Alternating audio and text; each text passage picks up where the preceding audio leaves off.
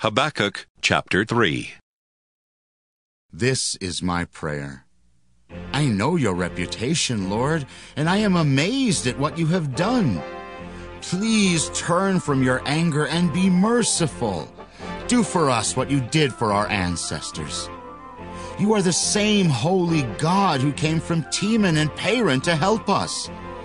The brightness of your glory covered the heavens, and your praises were heard everywhere on earth. Your glory shone like the sun, and light flashed from your hands, hiding your mighty power. Dreadful diseases and plagues marched in front and followed behind. When you stopped, the earth shook. When you stared, nations trembled. When you walked along your ancient paths, eternal mountains and hills crumbled and collapsed. The tents of desert tribes in Cushan and Midian were ripped apart. Our Lord, were you angry with the monsters of the deep? You attacked in your chariot and wiped them out. Your arrows were ready and obeyed your commands. You split the earth apart with rivers and streams.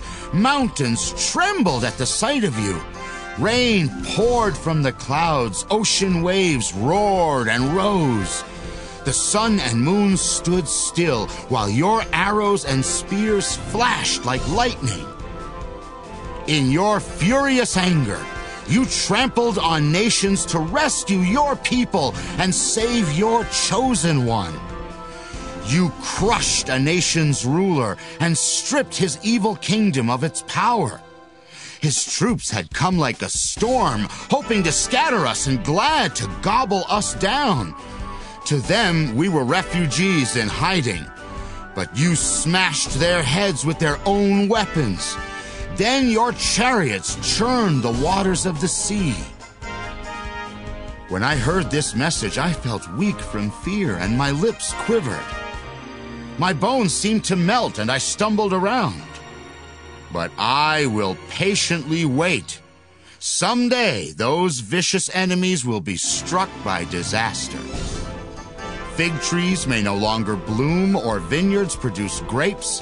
Olive trees may be fruitless, and harvest time a failure. Sheep pens may be empty, and cattle stalls vacant. But I will still celebrate because the Lord God saves me. The Lord gives me strength. He makes my feet as sure as those of a deer, and He helps me stand on the mountains. To the music director, use stringed instruments.